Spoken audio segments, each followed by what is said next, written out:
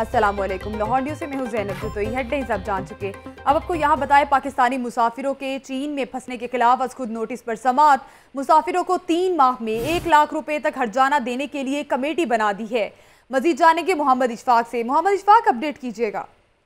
جی بالکل chief justice, Pakistan کی سربراہی میں تین رکنی فل بینچ نے اس کیس کی سماعت کی ہے اور اس موقع پر جو شہین ایئر لائن کے وکیل تھے، انہوں نے چیف جسٹس کو بتایا کہ ہم مسافروں کو تین ماہ میں ایک لاکھ تک ہرجانہ دینے کے لیے کمیٹی بنا دی ہے اور اس حوالے سے کمیٹی کی سفارشات پر منون عمل کیا جائے گا۔ چیف جسٹس حاکم صاحب نے شہین ایئر لائن کے وکیل کی یہ استدعا مسترد کر دی اور حکم دیا کہ تین ماہ نہیں، ایک ہفتے میں دو کروڑ روپے عدالت میں جمع کروائیں اور جو خرجانہ ہوگا مسافروں کو ادا کرنے کے لیے وہ ایک لاکھ روپے تک محدود نہیں ہوگا۔